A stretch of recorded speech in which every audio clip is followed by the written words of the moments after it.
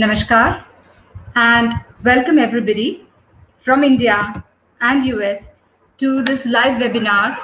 Namaskar and welcome everybody to this live webinar of um, erectile dysfunction and health. Before we start today's uh, webinar, uh, I take this opportunity to introduce American Academy to you. American Academy of Yoga and Meditation is not-for-profit organization based out of Memphis, USA. The Academy is dedicated to education, learning, and research in the field of yoga. With the endeavor of complete wellness for all, through a series of dialogue, we bring to you the best in the field of education, healthcare uh, from America and, uh, and India. Um, today's program is erectile dysfunction and health. Erectile dysfunction is a common condition world over. Studies show that one out of 10 men in India have this condition, and it affects around 30 million men in America. To know more about this condition and how yoga and other therapeutic uh, management can be done for this condition, uh, we have a panel of experts with us today Dr. Deepak Jumani, uh, Dr. Uh, Samaj, Samajdar, they are our speakers. Uh, Dr. Nilanjan Sengupta, our chairperson, and Dr. Shantanu Tripathi, our chairperson. I now invite uh, Dr. Sengupta to introduce our first speaker, Dr. Sanjay, uh, Dr. Deepak uh, Jumani, to all of us. Dr. Deepak, um, can I please request you to please uh, switch on your camera? Professor Uh, Jumani? Yes, Am I the thank first you. speaker or Shambhu is the first speaker? Okay, all right. Um, so let me just uh, add Dr. Samajdar to this screen.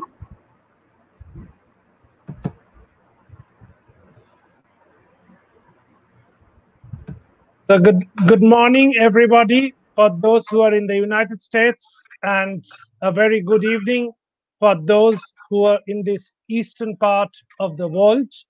And Shubho Dol Jatra and happy Holi to all of you. So, in midst of this festive season and lockdown, COVID pandemic still raging, we would be discussing a topic maybe a little bit away from COVID, refreshingly different, I, I may say, but nonetheless is an important problem that is erectile dysfunction. Now, as an endocrinologist, I've been asked to chair the session, but having said that, uh, Dr. Jumani would be actually attesting to it. If you take 100 cases of erectile dysfunction, only about 5 to 6% would have endocrinopathy as an underlying cause. A great majority of causes would be psychiatric and psychogenic. There may be certain other medical causes, metabolic causes, as well as neurologic causes, which some of them are eminently treatable, a few of them are unfortunately not. And that part, putting aside the endocrinologic causes, metabolic causes, vascular causes, one important, probably reversible cause of erect and psychiatric causes, one eminently reversible cause of erectile dysfunction may be those which are iatrogenic or drug induced. Now is the age of polypharmacy. We have to use many drugs for many conditions, especially the chronic conditions. In like in my practice, a person having diabetes, hypertension, dyslipidemia, hyperuricemia, so on and so forth, are on a, a host of anti-diabetic agents, maybe a couple of antihypertensive agents, one or two lipid-lowering agents, uh, uh, urate-lowering therapy, so on and so forth, and some of them eminently certain antihypertensives certain antipsychotics, certain antidepressants can cause erectile dysfunction. Now, the point is that when it comes to drug induced erectile dysfunction, unless you have a high index of suspicion, you won't be taking history, you won't be delving into the treatment of the patient. The patient is receiving who is sitting in front of you and unnecessarily end up in doing a lot of investigations even certain therapeutic interventions which probably were uncalled for if the uh, drug induced erectile dysfunction could be found out and adequately addressed. So to this for the next 15 minutes uh, will take us through to drug-induced erectile dysfunction, a very important practical part of the topic by Dr. Shambho Shamrat Samajdar, who is a DM in clinical pharmacology as well as a practicing consultant physician in the city of Kolkata, that is in the eastern part of India. So over to Dr. Shambho for your uh, talk. We are all uh, eagerly waiting to hear from you. Thank you very much, sir. It is really honor for me to share this e-dais with my mentor, my guide, Professor Shantanu Kumar Tripathi, sir, and Professor Nilanjan Sengupta, sir. Apart from that, also, it is a really honor for me to to be uh, to present with Dr. Deepak Jumani sir, who is the doyen in the field of erectile dysfunction, or rather we can say sexology. So my topic is drug-induced erectile dysfunction. So before going to the subject, I just want to share one uh, case that is a 36 year recently married type 2 diabetic admitted for CABG. So he was suffering from diabetes for four years, smoker for 10 years, hypertensive for three years. There is a maternal history of death due to massive heart attack at the age of 54 years. Dyslipidemia since one year, but not taking atorvastatin 20 milligram after marriage, that is for last six months. So these are the medication history, sitagliptin plus metformin 500 twice daily along with telmisartan 40 milligram.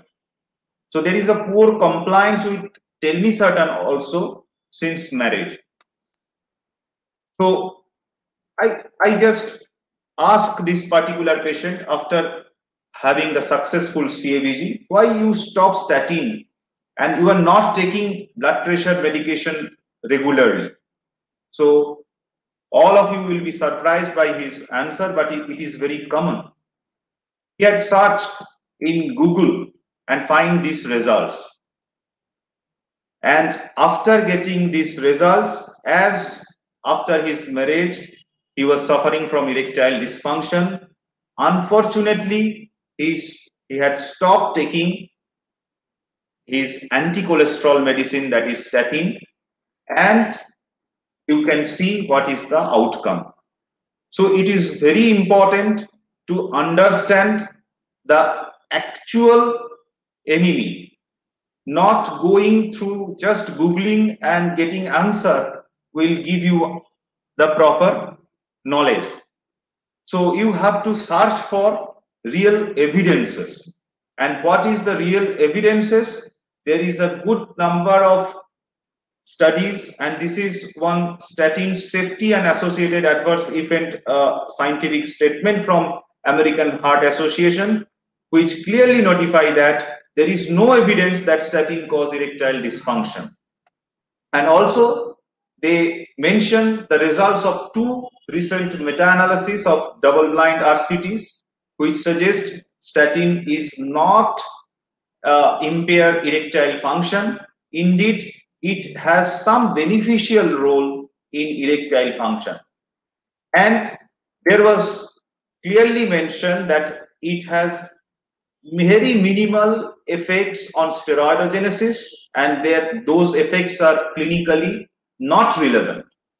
They might slightly reduce plasma testosterone, but they do not cause hypogonadism and their effect on erectile function is not adverse and could be beneficial. So this was the meta-analysis of different RCTs, which we can see that statins are associated with better erectile function as measured by the subjective measure of IIEF score. So before stopping medicine, it is very, very important to balance between benefits versus risk. Without that, if we stop medicine, it will be detrimental for the patient. So with, with that background, I am going to discuss on these in, uh, headings like neurovascular phenomenon behind erection, overview of relevant organic chemicals, what are the drugs that should be under vigilant eyes when the patient will come with erectile dysfunction, how to know about iatrogenicity, and we'll discuss one real life case. So neurovascular phenomenon. So we all know this anatomy that dorsal artery provides for engorgement of the glans during erection.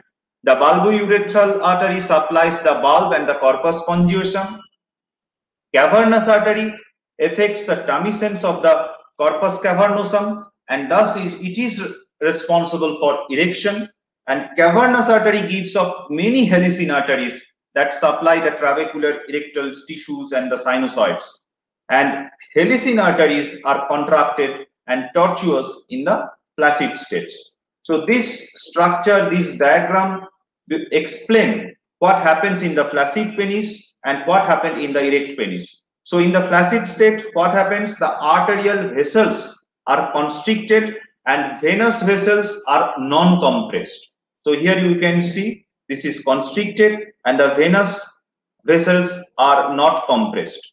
And what happens during the erection? The smooth muscle relaxation. So there is a smooth muscle relaxation in the trabeculae and the arterial vasculature results in increased blood flow. So the, there will be increased blood flow, which rapidly fills and dilates the cavernosal place.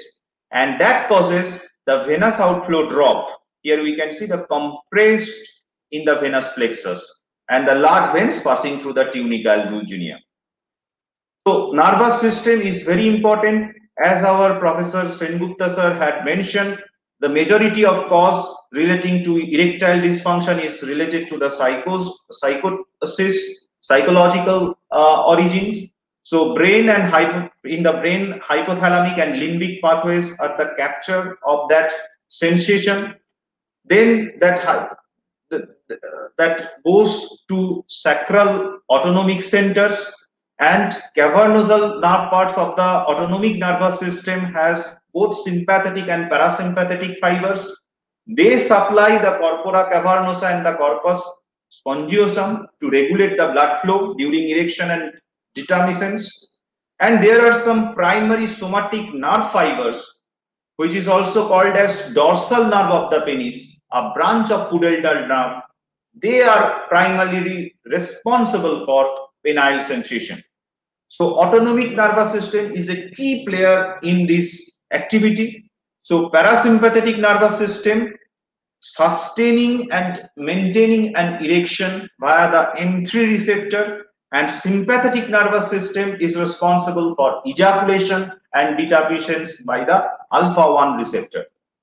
So now coming to the next part that is the some relevant organic chemical. So this activity erectile function is also a action of balance balance between some biochemical mediators. So the biochemical mediators which are responsible for contraction, they are generally causing the flaccidity of the penis.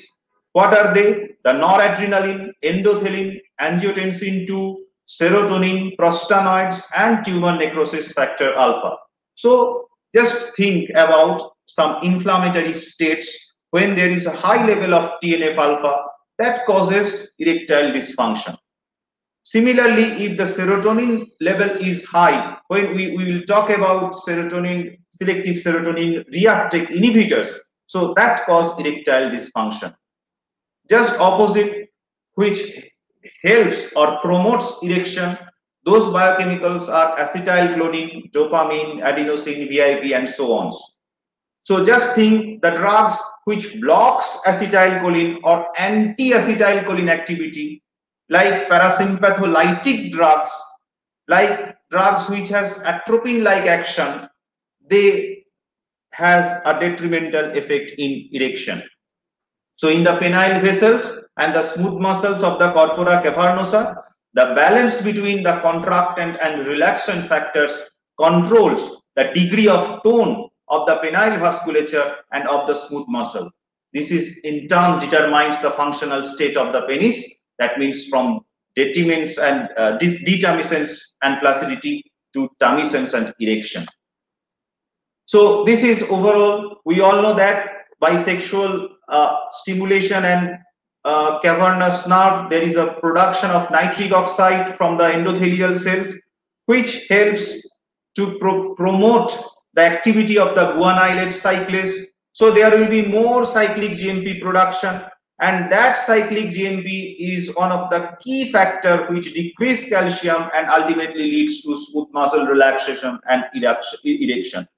We, when we talk about the management of erectile dysfunction, the phosphodiesterase E5 inhibition comes out in that portion, which inhibit the conversion or uh, termination of cyclic GMP uh, activity. That means they degrade the cyclic GMP activity and that phosphodiesterase 5, if we inhibit, then there will be more cyclic GMP activity and which causes smooth muscle relaxation.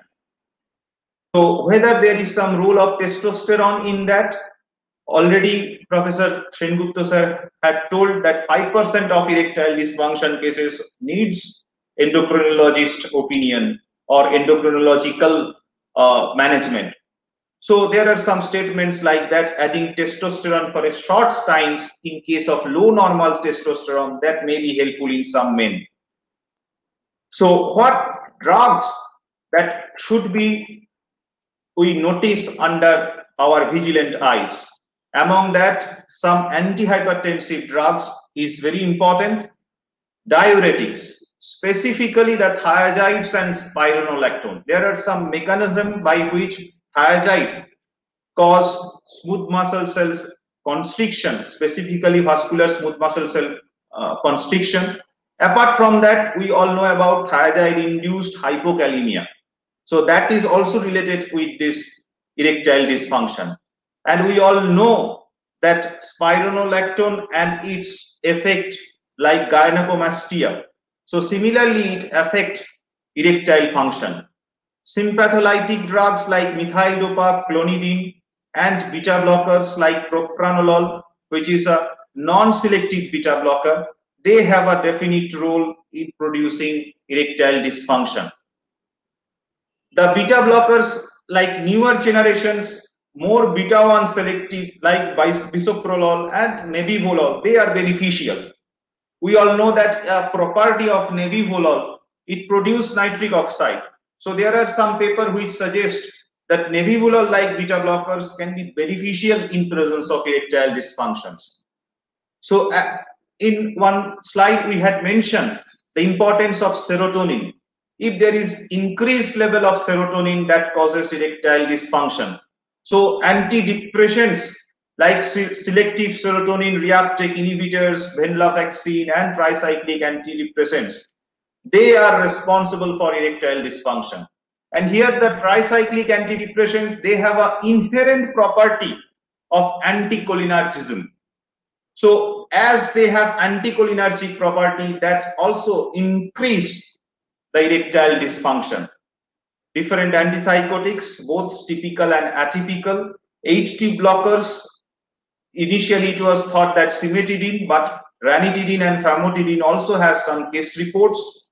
Anti-epileptics like valproate, carbamazepine, mood stabilizers like lithium, the 5-alpha reductase inhibitors for finasteride, dutasteride, they all are responsible for erectile dysfunction with some good number of case reports.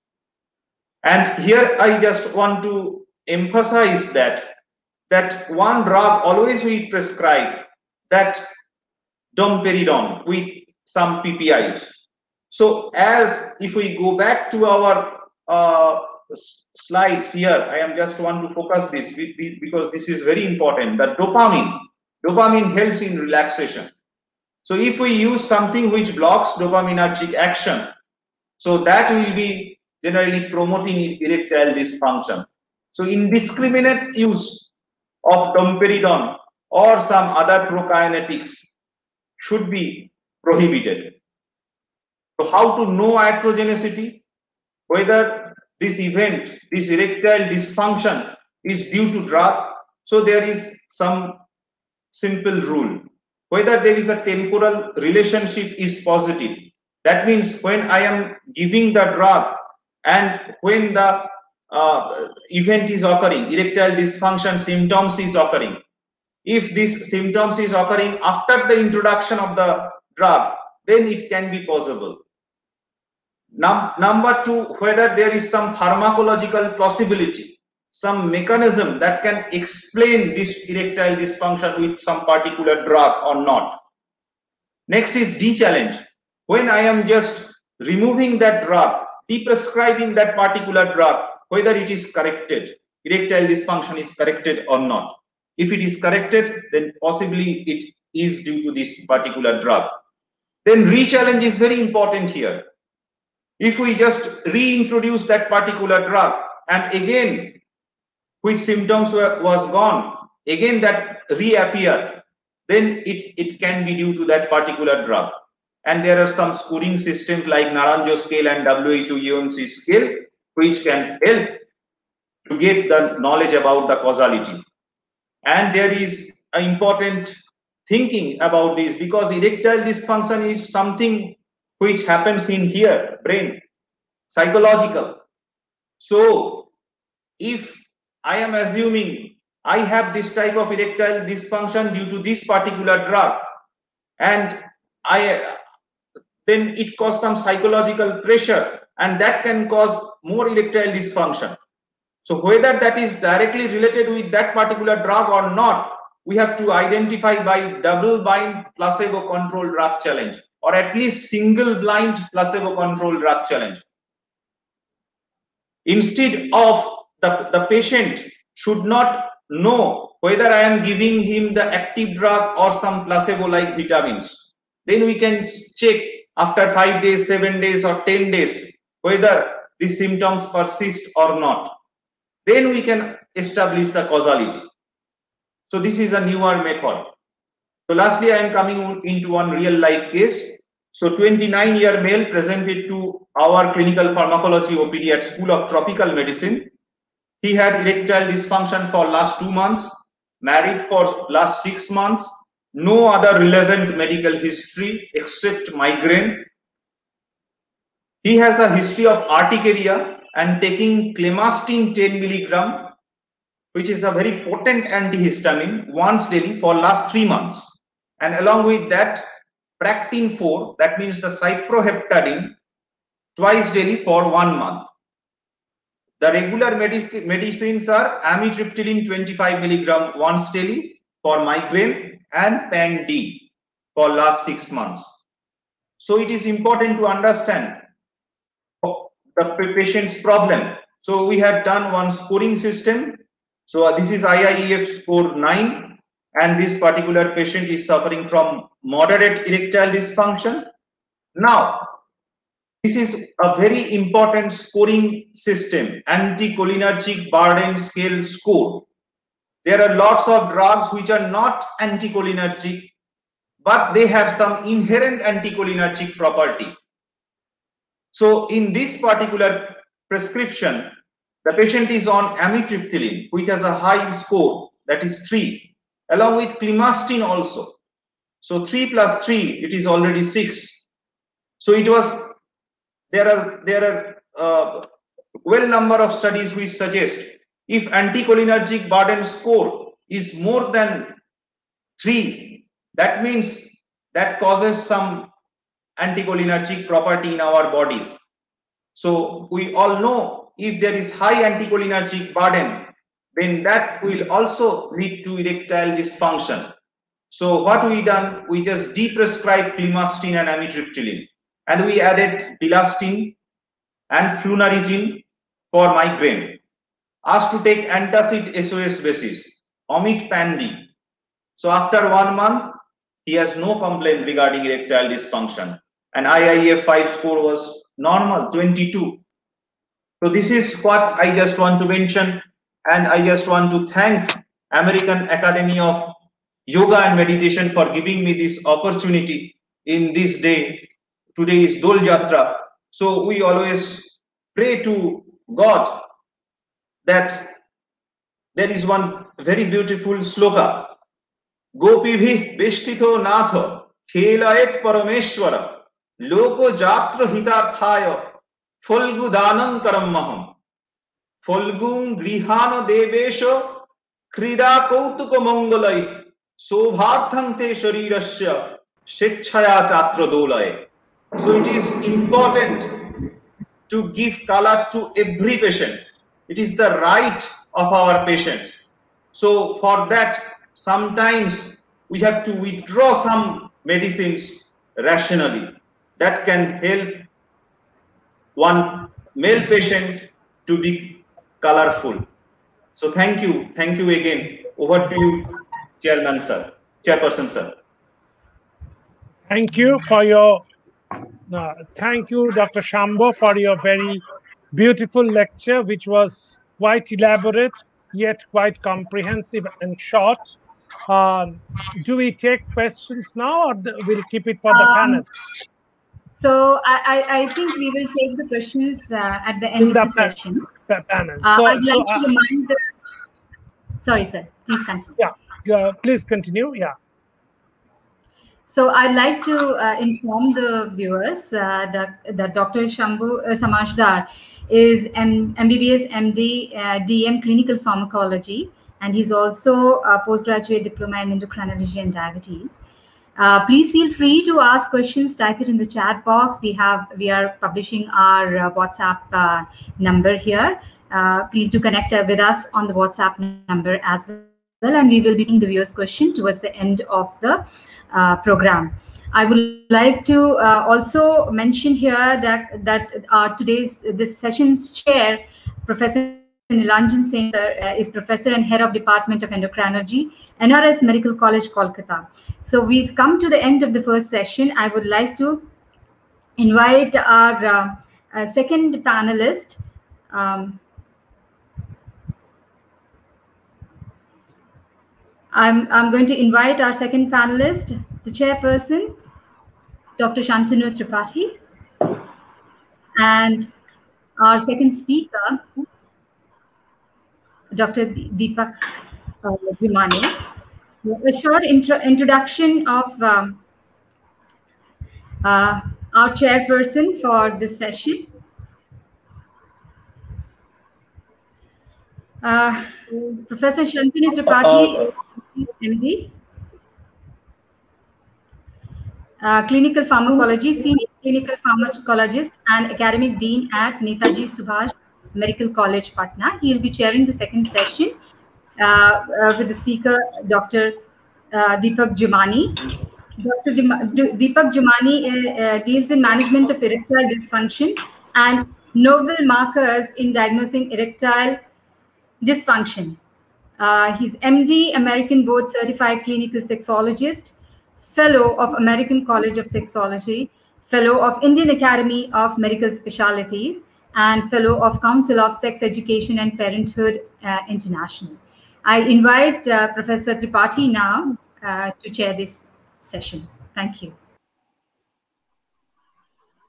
Thank you very much. So, it's always a great delight in uh, chairing a session where none other than Dr. Deepak Jumani would be a speaker. I have heard, I, ha- I had the fortune to hear Dr. Jumani earlier, and uh, I must admit how absorbing it is. He is an authority in this area, in this field, and uh, without uh, much ado, I would request Dr. Jumani to come up. and make his uh, presentation. He will be talking on the topic managing erectile dysfunction. Thank you very much, so, sir, Dr. for that. Please. Thank you very much for that, sir, for that wonderful introduction. Can I have my shared screen up, please? Okay. Can you make it full screen? Yes, sir. Please make it full screen.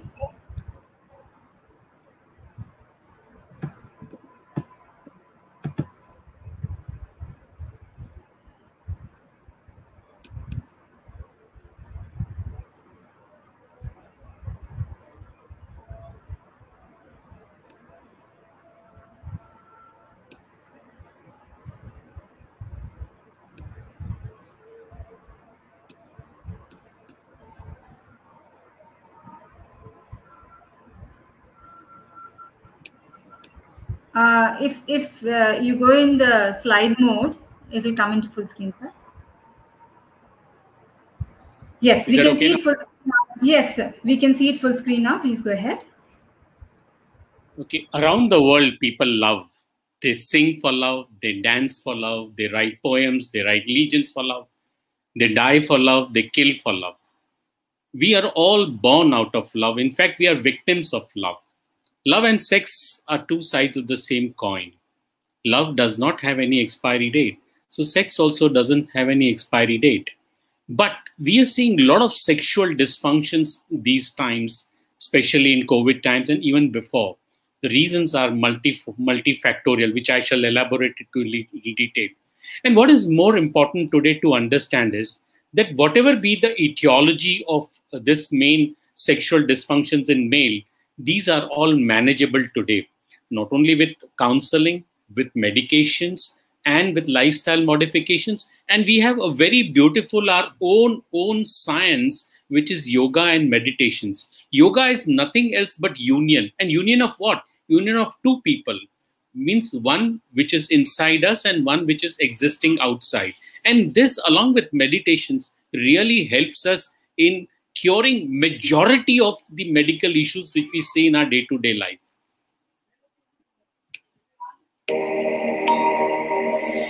Guru.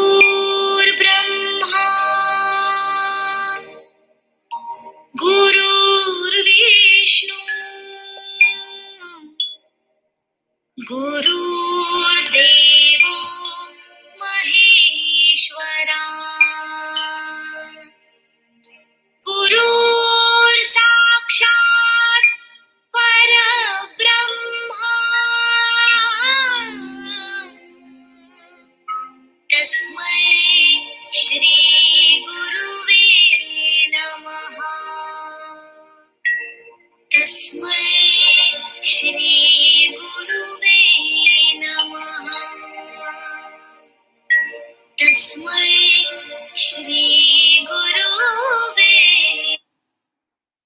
thank my teachers, Professor Dr. O.P. Kapoor, Dr. Prakash Kothari, and Dr. Shashank Joshi, and I beseech them to bless me always.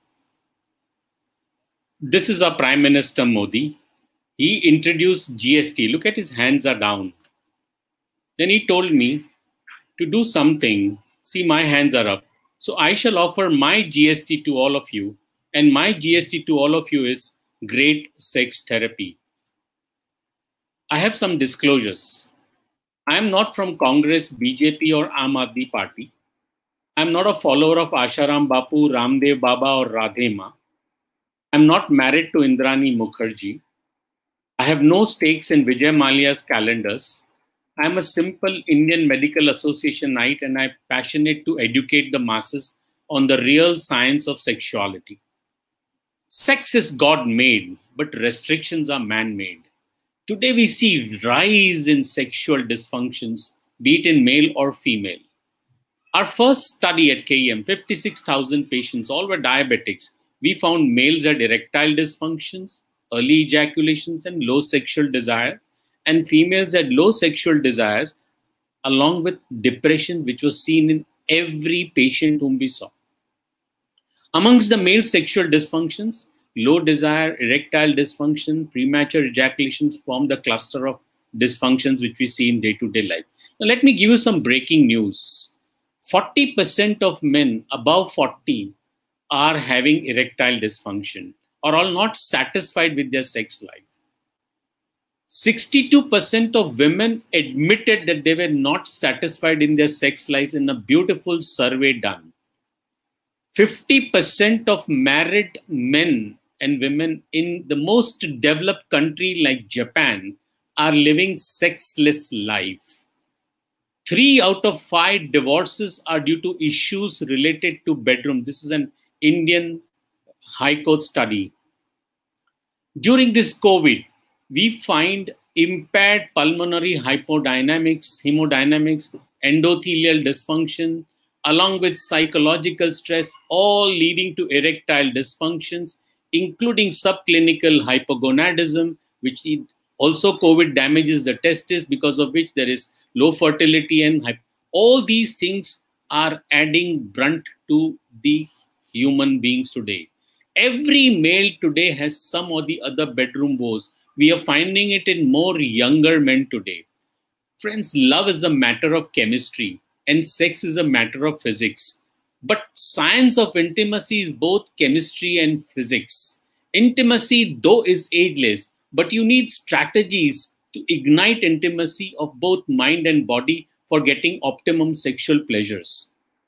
Erectile dysfunction has to be there for minimum six months and there should be a clinically significant distress and it should not be associated with mental disorder stressors medical problem or by use of any medical medication or substance use. This is a diagram which dr shambhu explained beautifully. This is the vascular endothelium of the penile vas- vascular system. The endothelial nitric oxide synthetase which is formed in a normal endothelium potentiates the chemical signaling molecule or the chemical currency of the cell, the nitric oxide, to enter into the corpora cavernosa smooth muscle cell and converts guanosine triphosphate into cyclic guanosine monophosphate with the help of an enzyme called guanylyl cyclase. This cyclic GMP, through various protein kinase G mechanisms and others, relaxes the smooth muscles of the corpora cavernosa and allows the blood to flow inside the penis. But sadly, this cyclic GMP hydrolyzes into 5-GMP with the help of another enzyme called phosphodiesterase 5. So if you look at this, number one thing which we need to understand is that if there is a problem of erectile dysfunction, the main thing is the dysfunction of the endothelium. And if you think at the therapeutic point of view, what a man needs is adequate amount of nitric oxide, he needs adequate amount of guanylyl cyclase, he needs cyclic GMP to be there in more bioavailable form, and he needs something to block this PD5, which we have in the form of pharmacological drugs like PD5 inhibitors, sildenafil, tadalafil, sildenafil, and vardenafil. Enough evidence to prove that erectile and endothelial dysfunctions in every metabolic syndrome is there, especially in diabetics. When there is an endothelial dysfunctions, what we see, the there is a structural change in the endothelium which leads to vasoconstriction, increased platelet leukocyte additions, smooth muscle cell migration, and increased lipid, lipid deposition and less clear, clearance. So evidence that it is endothelial dysfunction is by the presence of endothelial microparticles in the penile vasculature. 70% of all men with erectile dysfunction have associated comorbid conditions especially cardiovascular diseases. When I Googled, I found 50% of male population above the age of 40 had erectile dysfunctions.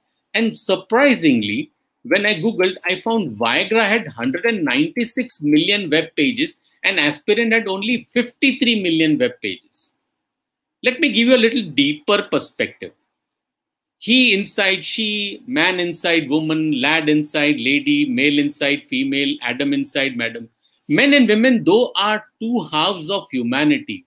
The point I want to make here is the problem is in the male or in the female, especially when there are sexual dysfunctions or, or relationship issues. The solution will always lie in the couple. So always call the couple together when you're treating sexual dysfunctions in either male or female This is very well explained by Dr. Shambhu. There are three dynamics. One is neurologically mediated increase in the penile arterial inflow. Then there is relaxation of the cavernous smooth muscle and restriction of the venous outflow from penis. This is the dynamics of erections. The I called erectile dysfunction as nothing less than penile attack. And today's concept is that penis has now become the barometer of endothelial health.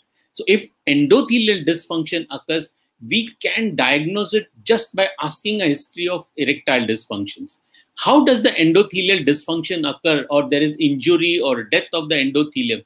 Many, many hypotheses are there, which we learnt in our medical college. It is usually due to activation of caspases Sometimes it is due to environmental stress such as oxidative stress, endoplasmic reticulum stress, metabolic stress, genotoxic, or there are many other uh, pathways of injury mediated by innate and adaptive immune systems.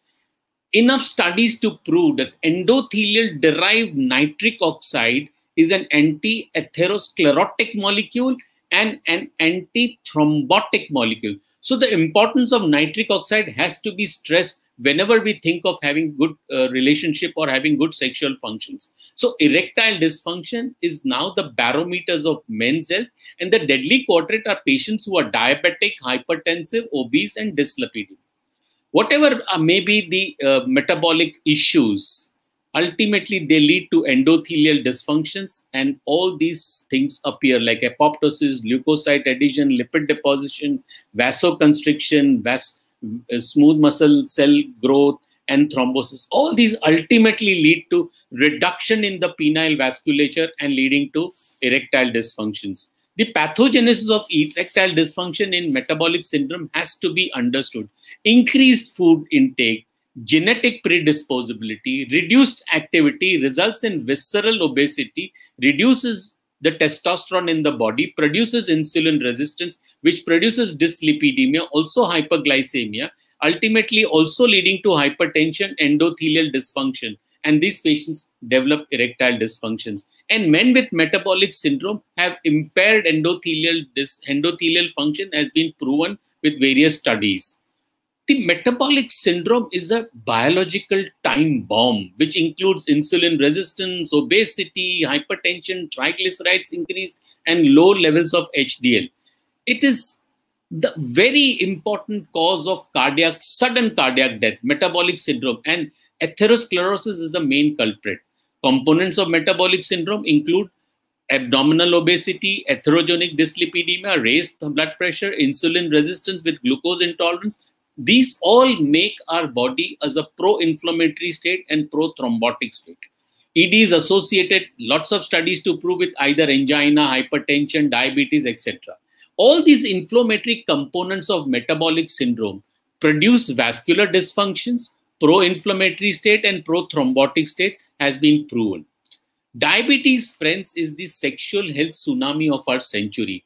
It decreases in diabetic. There is decreased nitric oxide bioavailability and increased capillary basement membrane thickening. It is highly prevalent both in type 1 and type 2 and amongst the world india and china are the major countries having high case more number of cases of diabetes so i call chindia are the diabetes capital of the world and erectile dysfunction is the commonest complications of diabetes type 2 in men so Chindia are the erectile dysfunction capital of the world. Hypertension, I have yet to come across a family in my practice who in whose family there is not even one or two patients of hypertension. High blood pressure is a cause of erectile dysfunctions and antihypertensives like beta blockers, diuretics, centrally acting drugs all produce erectile dysfunctions. It has been known. So pathophysiology of hypertension is nothing but constriction of the vessels as well as increased vascular resistance. What uh, has to be done in patients with hypertension? Dr. Shambhu has beautifully explained. We need to give alternatives. The best among the hypertensive, if you have to give beta blockers, is nebivolol. If at all you have to give diuretics to your patients, indapamide is the best. And the best is ARBs are the ideal drugs to be given to patients in diabetes or in any other things uh, uh which uh, who have potential of having sexual weakness in, in their life. Obesity is nothing but chronic, progressive, expensive epidemic with multiple lethal. And how does obesity affect sexual dysfunctions? It is associated with lack of enjoyment of sexual activity, lack of desire, difficulties in performing because of the paunch, etc., and avoidance of sexual and they have an avoidance behavior, and sexual quality of life is impaired. Of course, because of overweight, we find there is decreased uh, production of testosterone, etc. Visceral obesity, lot of inflammatory response, microvascular disease leads to endothelial dysfunction, also lead to testosterone deficiency, ultimately leading to erectile dysfunctions. Masters and Johnson's beautifully told about the male sexual response, which begins with the desire, leads to arousal, which is erection, ejaculation, and resolutions. So desire has to be there. But dyslipidemia affects both desire as well as erections. And we have a lot of studies to prove that. Low testosterone with obesity and metabolic syndrome contributes to sexual dysfunction and cardiovascular risk in men with type 2 diabetes. Androgen, especially testosterone, is responsible for this maintaining the penile tissue structure, especially the, especially the tunica albuginea, which is very important. It maintains that. So it is important to understand that we need androgens too. The lessons to learn is there is a link between erectile dysfunction and vascular disease, which is so strong that physicians are advised to consider men who present with erectile dysfunction but no diagnosis of heart disease as undiagnosed cardiovascular patients until proven otherwise. The risk factors of erectile dysfunction includes conditions such as high blood pressure, abnormally high lipids, elevated low HDL, LDL, cholesterol, triglyceride, obesity, diabetes, and smoking. Nitric oxide is the main important erectogenic chemical currency of our cells. At the age of 60 years, we'll have only 15% nitric oxide, which it is exactly like testosterone. It keeps on decreasing as we age. So the importance of nitric oxide presence has to be understood. And L-arginine is a potent, versatile amino acid, metabolic amino acid, which produces nitric oxide in our body. And that is produced only if we have a normal endothelium. Now, let me give you a newer perspective of it. Cardiovascular disease, India, this is an Indian study. With the turn of century, we'll have the we'll become the leading cardiovascular disease will be the leading cause of death in India and Indians develop coronary artery disease 10 years earlier than the other countries. 50% of mor mortality in non-communicable disease is due to cardiovascular disease and erectile dysfunction is the earliest marker of myocardial ischemia. This has been proven. So the missing link between ED and correct cardiovascular disease is erectile dysfunctions. When you look at the normal cause of atherosclerotic coronary uh, cardiovascular disease, endothelial dysfunctions or something in the cardiovascular disease process, you'd find there are no structural changes in the initial stage. But once the disease progresses, you find the changes. So it is at this stage where we need to intervene and change his lifestyle and correct his metabolic syndrome and give him a good quality of life and prevent the retardation or retard the onset of critical events in his life. If you look at the artery size, the penile artery is the smallest, coronary artery is slightly bigger, carotid is slightly bigger than the coronary artery, and femoral artery is the biggest. And if 50% of the arteries get blocked due to atherosclerosis, it will produce symptoms. So if 50% of the penile artery gets blocked, these patients will develop erectile dysfunction. And as we know, atherosclerosis is generalized the same amount of atherosclerosis in coronary artery will not occlude 50% of the coronary artery or 50% of the carotid artery or femoral artery. Thus will not produce symptoms related to coronary artery disease.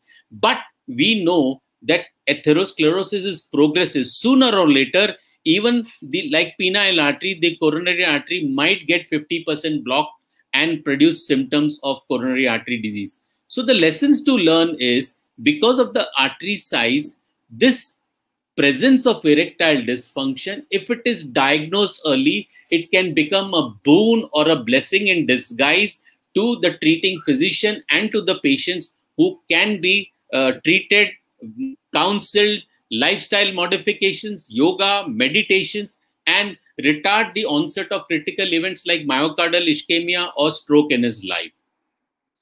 Studies, Indian studies proved that the onset of erectile dysfunction preceded the symptoms of coronary artery disease by at least three years. So we have three years, a window period of curability where we can change the lifestyle of our patients, counsel him to quit smoking, advise him to do all the physical movements, uh, avoid sedentary lifestyle, yoga, meditation, etc., and and retard the onset. So there is clear-cut relationship of ED and subclinical cardiovascular disease. It has been proven beyond doubt. How do we manage? Now, this is the main part of my talk. First of all, rule out the psychogenic causes. In any patient who's 40 years and less and gets early morning erections in the past 8 to 10 days, even once or twice, he is normal. The erectile dysfunction which he has is situational or psychogenic. He does not need PDE5 inhibitors. All he needs is counseling. So you rule out the psychogenic causes of this.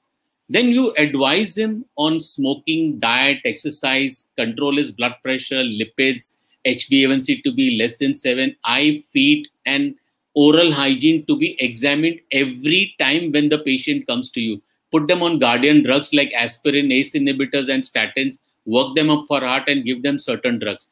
Also check his cremasteric reflex and bulbocavernous reflex to rule out neurogenic cause. I feed the take-home messages every patient about 30 who has a history of metabolic syndrome. Please examine his retina, please examine his feet, and also look at the oral hygiene for the signs of periodontitis. These will give you a clinching diagnosis of erectile dysfunction.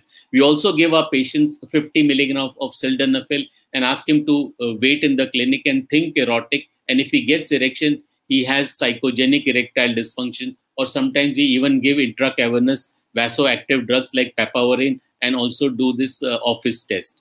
Additional tests we do are serum testosterone free total, sex hormone binding globulin, thyroid, FSH, LH, prolactin, sonography of the scrotum and Doppler studies, vitamin D estimation, digital rectal examinations, and we have novel tests like RigiScan, which we do. Some new markers for to clinching erectile. See, we are all embarrassed to talk to our patients. Patients don't tell us, we don't talk to them. But this, there are certain markers without even asking your patients, you can diagnose these patient's having erectile dysfunctions. One is do a simple CBC and the platelet lymphocyte ratio. If the platelet lymphocyte ratio is 104, he does not have erectile dysfunction. But if it is 105 and above, he's got mild. If he's got 116 and above, he's got moderate. And if he's got 136 and above, he's got severe erectile dysfunction. So by just looking at a CBC report and doing a mental calculation, you can diagnose the severity of erectile dysfunction this patient has. And then when you confront with him, you will become a Sai Baba for him. He will bless you. He will be, he was he was waiting for you to initiate a dialogue on this aspect of his life.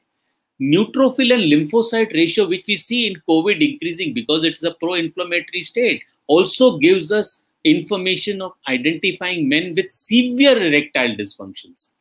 Hypovitaminosis D is one of the best markers. All patients who have low vitamin D, about 30, 40, they do have erectile dysfunctions estradiol is one of the risk factor for organic erectile dysfunction so serum estradiol can also give you a, a, a mark a, a, indication that this patient is having erectile dysfunctions a hand dynamometer in patients who this is a very simple gadget. Ask him to press it. If it is more than 80 he does not have erectile dysfunction. But if he's got 80 and less he definitely has erectile dysfunctions.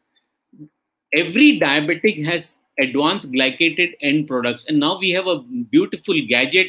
We just keep a hand on this uh, on this machine and you can get age readings through skin autofluorescence. You can diagnose patients having erectile dysfunction especially in diabetics endocan simple blood test which cost only 20 rupees the significance is that this is increase in patients with erectile dysfunction i work for bombay police and i look at the belts the dropping belt sign is nothing but cardiovascular disease below the belt. It means he, they all have penile attack, they all have erectile dysfunctions. A diagonal earlobe crease, it's a cause of Frank sign, which is present in angina. It's published in NEJM. Researchers have studied the significance of this with erectile dysfunction. Now, how you treat erectile dysfunction, having diagnosed whether it is uh, metabolic cause, hormonal cause, or whether it is due to neurological cause, or whether it is psychogenic, how do we treat it? We have three modalities. The oral drugs is the first modality, but it should go along with counseling and lifestyle measures. Second is injection of papaverine inside the intracavernous tissue and counseling and lifestyle measures. If that fail, we advise our patients to take vacuum therapy. In those patients who cannot tolerate drugs or injections, we advise them to take vacuum therapy along with counseling and lifestyle. If all these fail, we in, we have uh, intra intraurethral injections of prost, prostaglandins, but very rarely being used because there's a lot of numbness and pain, etc. And if all these fail, we send our patients to the androsurgeons who treat them with penile implants. But counseling and lifestyle measures form the mainstay of treatment for erectile dysfunction in men. We have four PDE5 inhibitors, sildenafil, vardenafil, tadalafil, and avanafil. Amongst all, the faster onset of action and shorter duration of action is vardenafil, which minimizes the adverse events compared to tadalafil, which has a half-life of 17 hours. We have all four PDE5 inhibitors having a variety of onset of uh, actions with uh, durations of actions. All have side effects of flushing, headache, nasal congestion, dizziness, dyspepsia, visual disturbance, priapism, in some cases, malignant melanoma, and they are all contraindicated with nitrates or recent cardiovascular event or patients having hypotension or having Uh, any penile defect, anatomical defect, injuries, certain anemias, leukemias, and myelomas. The best is 12 weeks treatment of tadalafil low dose, be 10 mg, to diabetics, even if their HbA1c is above 9, or even if they have hypertension, or even if they have prostatic hypertrophy or dyslipidemia. These patients, according to the studies and in our private practice, we see low dose 5 or 10 mg of tadalafil is beneficial to them to be given for a longer time. So any patients of dyslipidemia who just don't respond to sildenafil, add atorvastatin about 10 mg or 20 mg, minimum 20 mg in these patients along with sildenafil. It works much better instead of just giving them plain sildenafil. Novel treatments include low intensity extracorporeal shockwave therapy with PRPs have been tried for mild to moderate erectile dysfunction, but severe erectile dysfunction, it doesn't work. But what we find is 30 to 40% patients don't respond to medical line of treatment. They are non-responders. So how do we convert these non-responders to responders? And why PDE5 inhibitors fail? Because they don't take it in the proper dose. They take it just 5 to 10 minutes before meals or after meals or 5 minutes, 10 minutes before the act and they don't stimulate themselves. So these are the reasons why PDE5 inhibitors fail. So to these patients whom we cannot, who do not respond to the regular PDE5 inhibitors, we need to give them chronic therapy, which is now proven to be a valid choice. We have many other treatments like um, all I have explained to you. These are the single penile implants, the three-piece penile implants, the vacuum therapy, injection of intracavernous drugs, etc. One thing we need to understand, as Dr. Niranjan, uh, Dr. Sen Gupta beautifully mentioned, all diabetics have low testosterone, and we need to replace testosterone. But there is a there is a hitch in this. We cannot give testosterone to younger patients because of the fear of azoospermia. We cannot give testosterone to older patients because we fear they may get um, uh, prostatic cancer or prostatic issues or cancers, etc we have got a lot of things to give in, in this thing, but we need to watch for azoospermia in young patients, heart failure and prostate issues in the elderly. We have now films of sildenafil which are available, tadalafil films, we just keep it on the tongue and they act very fast. There are newer drugs which are soon coming in the market. Avanafil will be launched in a month or two. 100 milligram can be, the action is within 15 minutes. And this drug can also be given to patients who are on nitrates the only thing what we need to understand is that nitrates has to be stopped on that day. So avanafil will be a boon. We have SLX2101 will become, mirodenafil will be there, lodenafil, all have got longer uh, duration of action around 48 hours, etc. So we have a glyceryl trinitrate ointment also available today, which has been tried, beautiful results of it. And Indians have now produced transdermal gel of sildenafil citrate, has been tried, proven to be very good in patients with erectile dysfunctions. But what is more promising today are phytonutraceuticals. The combination of L-arginine with fenugreek. L-arginine, we all know, is going to produce nitric oxide, which is required to initiate the erectogenic mechanism. Fenugreek has got an effect like free testosterone, which increases the desire. So L-arginine and fenugreek combination is fantastic, very safe, and beautiful compliance with C. L-arginine and L-citrulline has been tried Fenugreek increases the free testosterone because it has got a chemical structure similar to testosterone. What it does is when you take fenugreek in saponized form, it displaces the globulin bound and increases the free testosterone more, and the patients start developing desire. And when they have the desire, they have intercourses, and more intercourse they form, there is endogenous testosterone productions. But we need to understand one thing is erectile dysfunction a symptom or is it a disease? If it is a symptom, patients will need erection on demand. So pharmacotherapy is the drug of choice or, or the treatment of choice. But if you consider it to be disease, we need to cure them. And for that, we have regenerative medicines. So what's new in the treatment of erectile dysfunctions? We knew stem cells. Our body is made up of drugs, not drugs, but cells. So cells are the only one which can change the other cells due to certain triggers. So if these cells are stimulated with certain growth factors, they can change the damaged cells and make it all right. The regenerative medicine revolution is upon us, like iron and steel to the industrial revolutions, microchip to the technology revolutions. Stem cells will be the driving force of this next revolutions. If power be defined as the ability to do anything and create anything, the stem cell is the most powerful known life force today.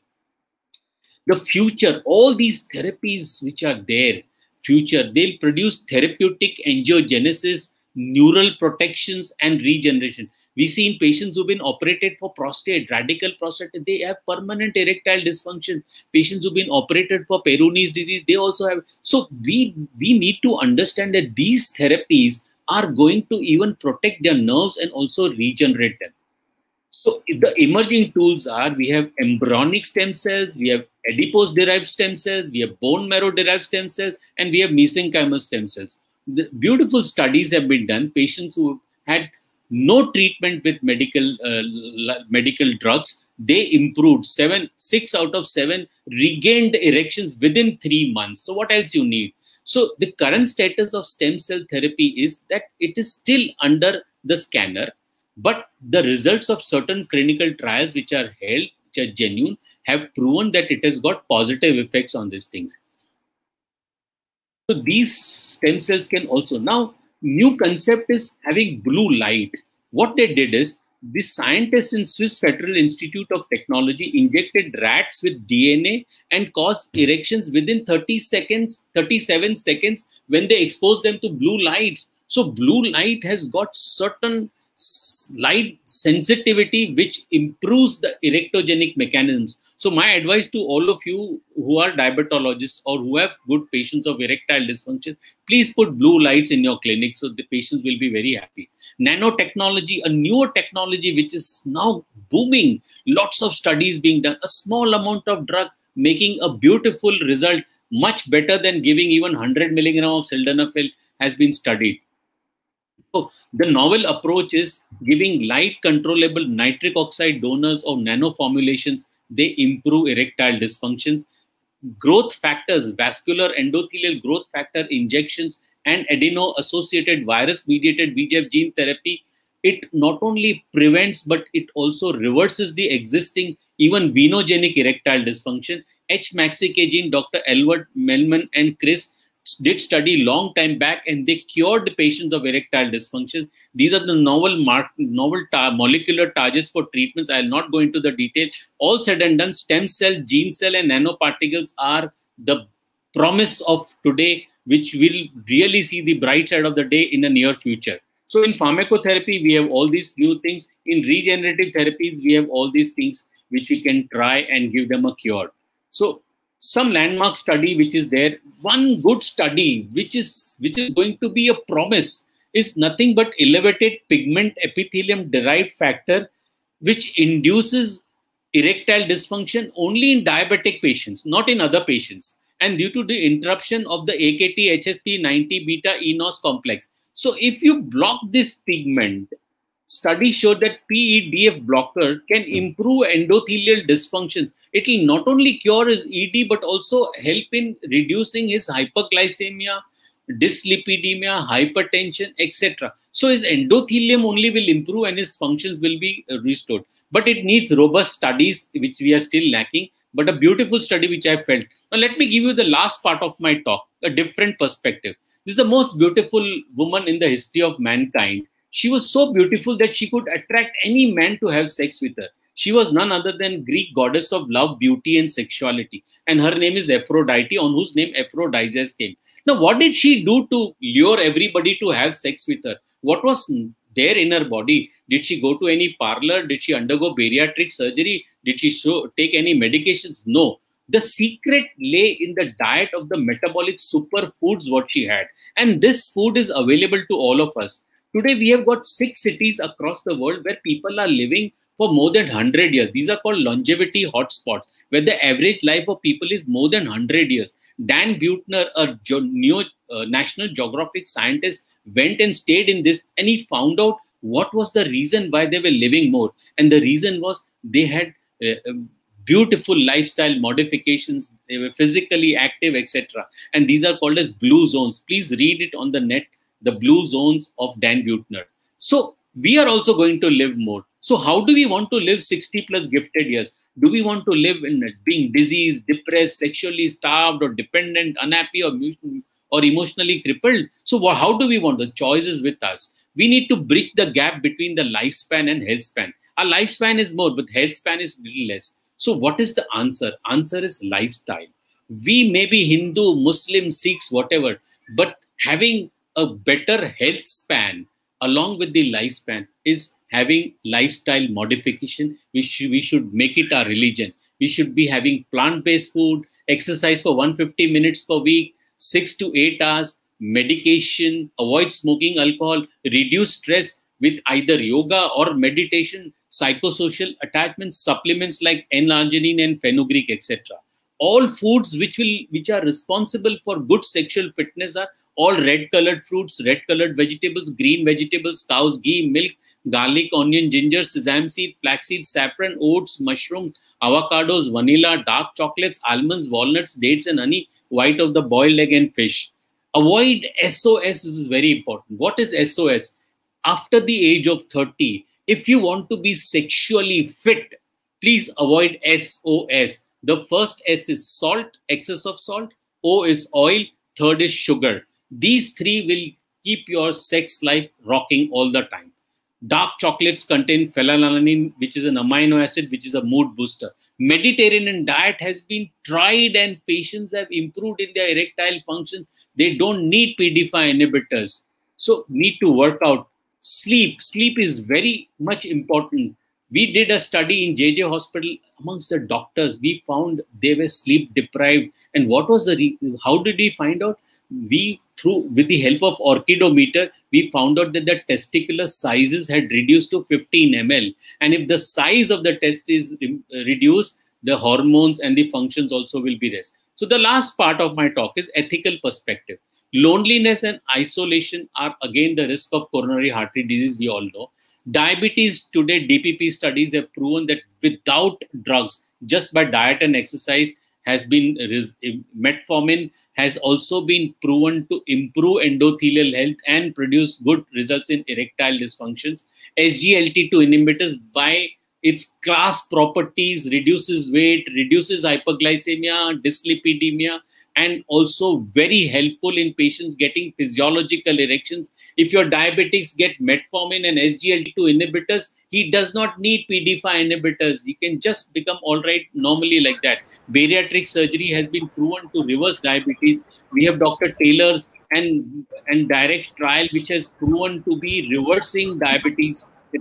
My friend Paresh Dandona studied and he found that type 2 diabetes was reversed by treating patients with injectable testosterone for one year. And this is how even diabetes can be reversed. Dean Ornish proved that coronary artery diseases can be reversed with lifestyle because every risk factor is modifiable today, whatever be the risk factor. And all we lack is in the healthy diet, which we are lacking. We have got every other thing under control. So even genetic diseases can be modified with lifestyle measures. So what we need to think and understand is Cleveland Clinic in their in their study proved that nutritional intervention will not only halt the coronary artery disease and also reverse the coronary artery. This they proved with the uh, perfusion scan and look at such a huge plaque which was opened up just by nutritional intervention and no giving putting any stents etc so the doctor of the future will no longer treat human frame with drugs but rather cure and prevent disease with nutrition effectiveness of this is so the key to having good sexual life is for good sex avoid salt sugar good sleep avoid smoking avoid stress have good sunlight and avoid sedentary behavior. Avoid SOS, which I have already told you. Insulin resistance is the mother of all the problems. Obesity is the grandmother. Avoid smoking. Use different positions, but rather than using 64 different partners, try which positions suit you. The most important, my most important part of my talk for this association is sex therapy for the 21st century. There are five emerging directions one is mindfulness based interventions, psychotherapy interventions over medications, inclusivity, couples perspective, and changing attitudes towards sex. How does yoga help in managing erectile?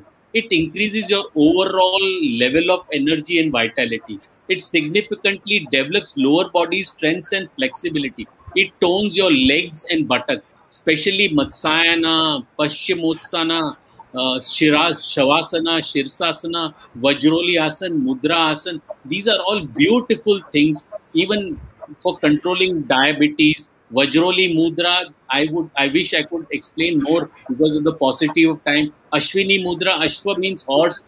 Horses never vomit. They empty their stomach at least dozen times. They have good rectum control. Ashwini Mudra is nothing but relaxing, contracting the anal sphincter. It is fantastic one simple pose which I would like couples to understand is sit in a comfortable position facing away from each other with their backs straight and one inhales, the second partner exhales.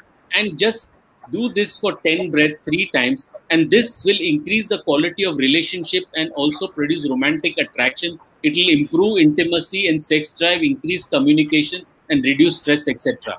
Enough studies to prove that yoga helps in male sexual functioning mindfulness meditation also helps do some relaxation technique. Be erotically intelligent. Look at your partner's inner beauty. Change yourself. Don't change your spouse. Explore your partner's body as you have seen it for the first time. Try new things in bed.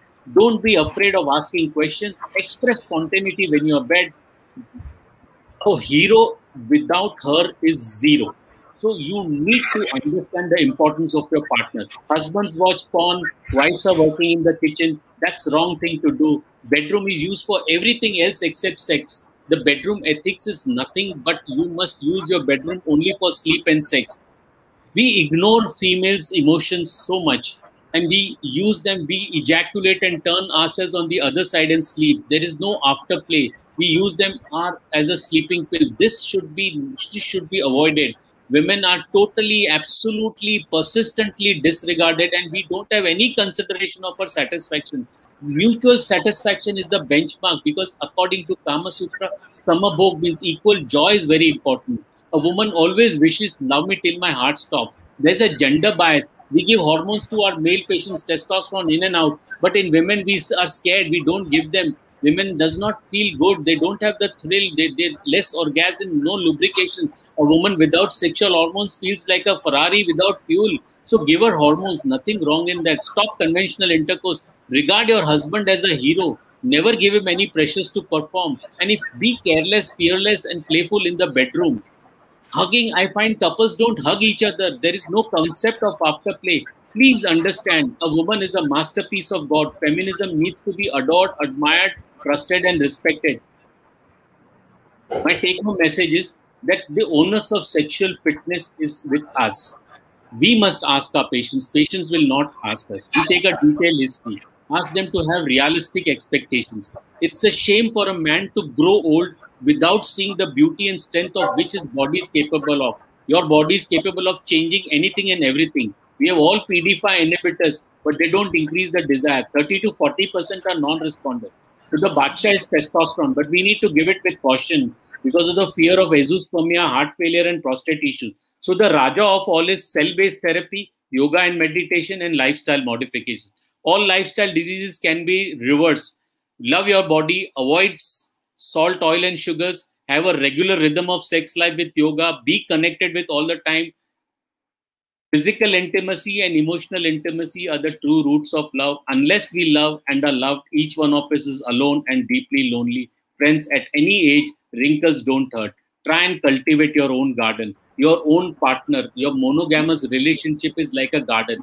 Polygamous relationship is like a jungle. So try and try and cultivate your own garden, which is more important. The best curative regenerative therapy is uh, uh, L-arginine, fenugreek, cell-based therapies like stem cells, yoga, meditation, and lifestyle modification. We have so many things in our armamentarium to give for patients with erectile dysfunction that this is a symptom which can be cured for all. Whatever be the cause, today erectile dysfunction is a correctile dysfunction. Friends, if you have patients of erectile dysfunction, please don't send them to quacks. Try and treat yourself.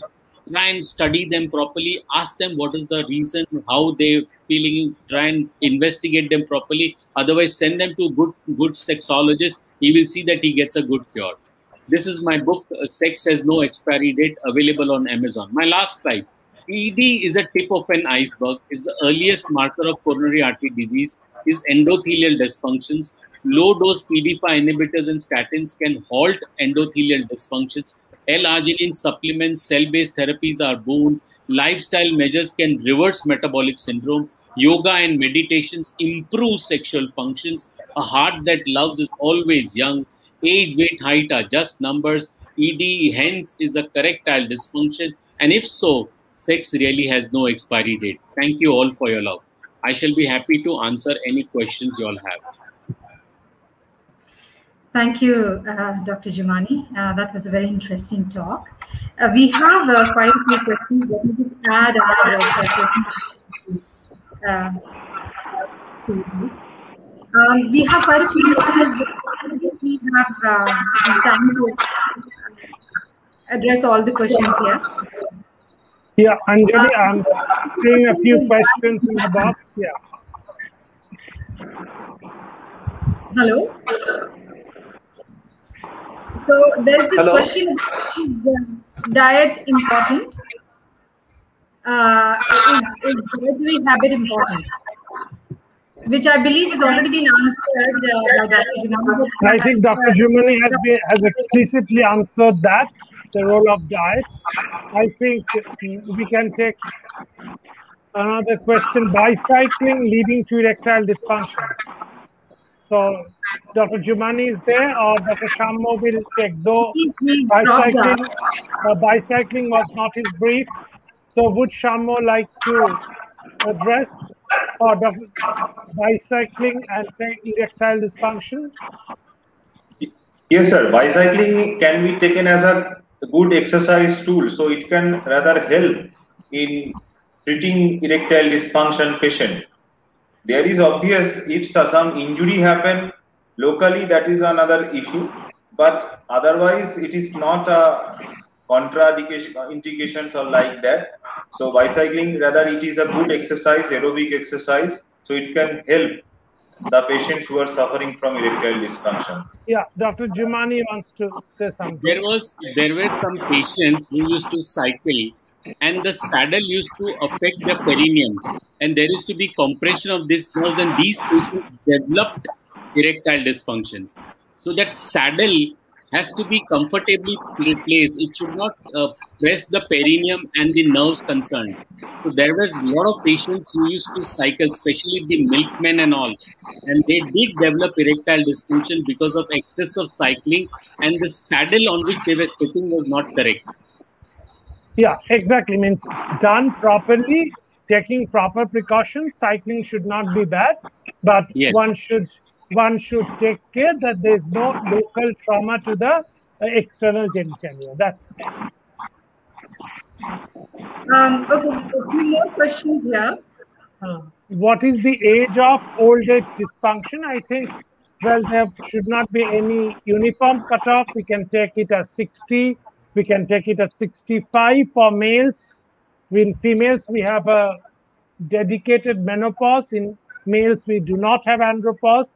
So I think the age would be open to question and maybe debated.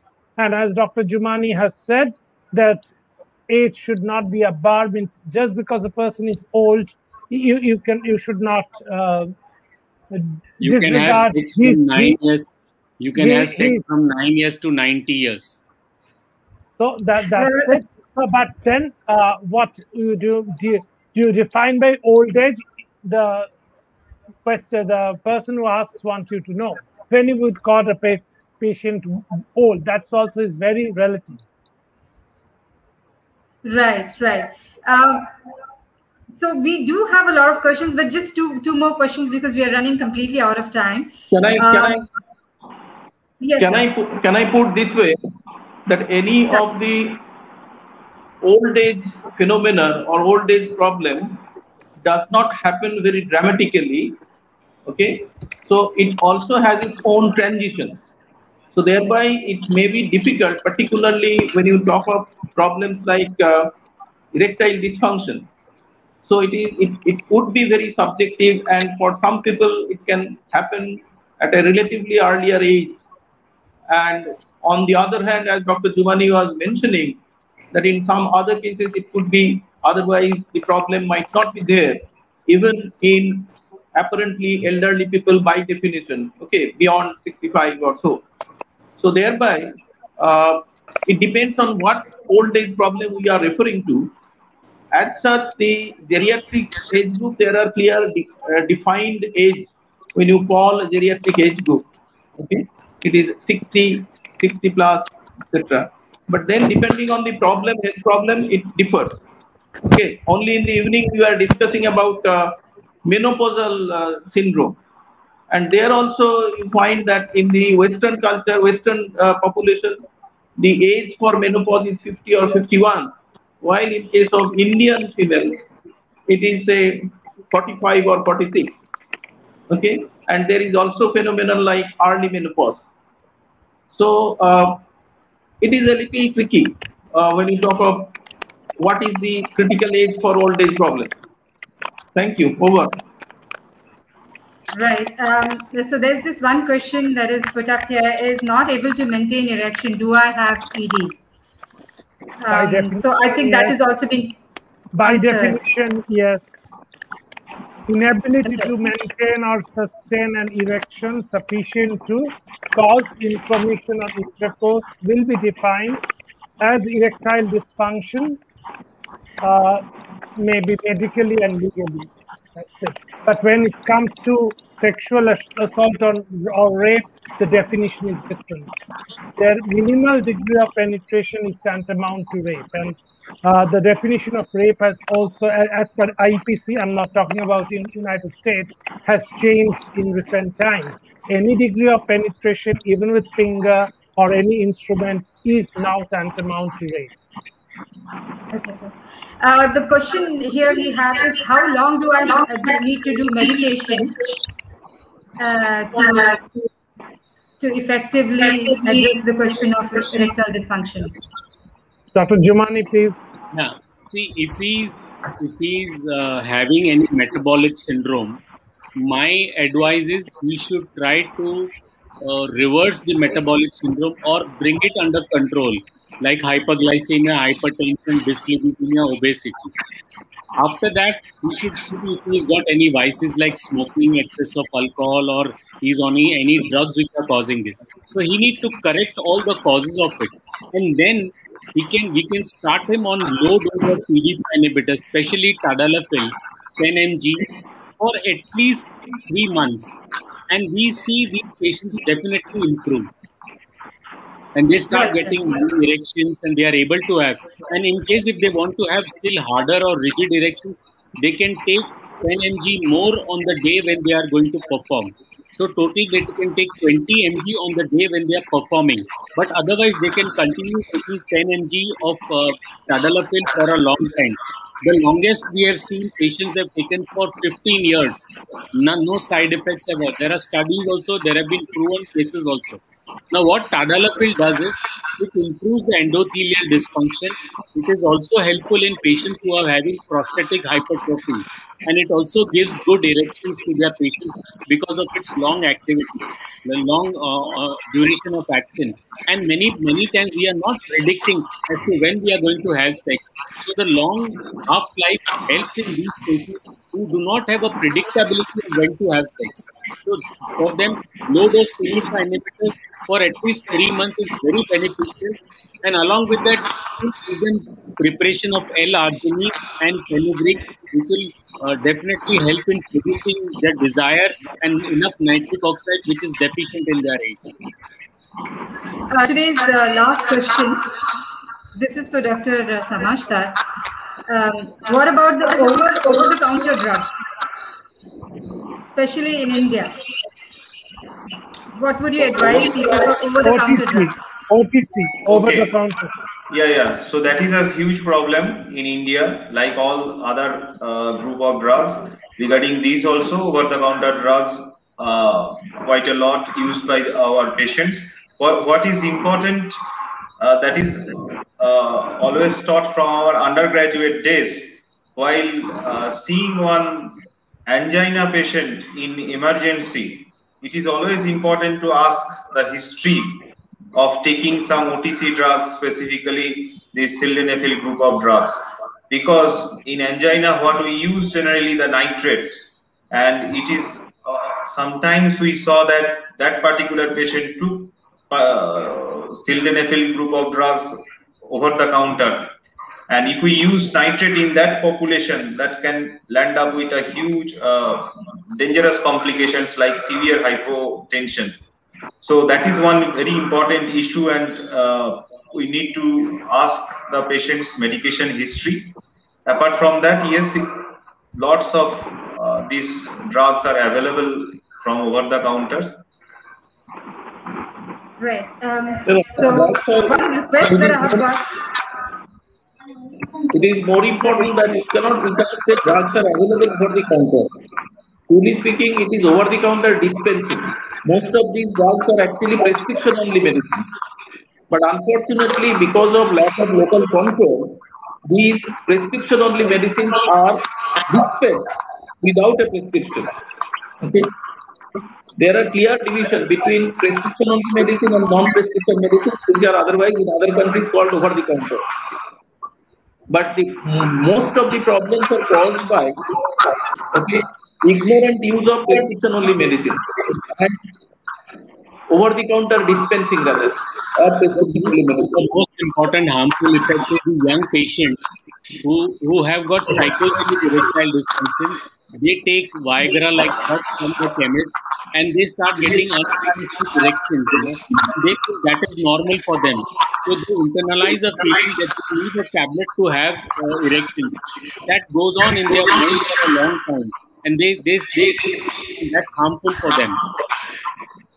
Right. The, Thank you the so much. common, uh, the common over-the-counter drugs resulting in erectile dysfunction would be PPIs, H2RAs, and domperidone, such like those drugs. They are Right. quite often used without restriction. Okay, thank Right. you. Thank I'll you so to much. also leave. uh, Yeah, Thank you thank you so much. much, uh, everybody, for this program. Thank you, Dr. Just last, last Thank you, request Dr. for Dr. Tripathi. Uh, we have got requests from uh, women uh, viewers that let's do a special program uh, focused on ladies. So we will definitely invite you again uh, to do a special program for women. I wanted to demonstrate certain yogas, you know, because this was a association, but because of paucity of time, I cannot do that. Right, sir. Thank you, everybody, for this wonderful program. And Thank you. good night for, to everybody in India. Thank you very and much. bye-bye Thank to you, everybody. Thank you, sir. Thank you, sir. Namaskar. thank Have a good day and a good night wherever you are. Yes,